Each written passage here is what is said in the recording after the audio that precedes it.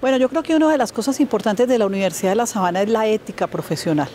Las personas que salimos eh, de acá del centro salimos con una excelente formación, tenemos una preparación para, eh, y una responsabilidad muy grande para manejar los medios como tal. Y creo que eso se sustenta todavía ahora. Nosotros fuimos muy afortunados porque tuvimos excelentes periodistas, entre ellos, por ejemplo, Daniel Samper Pisano, que fue para nosotros, y creo que fue el único año que La Sabana contó con esa dicha de tener a Daniel Samper y nos dio una buena cátedra de investigación. Tuvimos profesores excelentes y realmente yo creo que hoy también la universidad se preocupa por tener un, profesorado mm, bien preparado para que quienes ejerzan la profesión tengan la preparación suficiente para manejar el medio.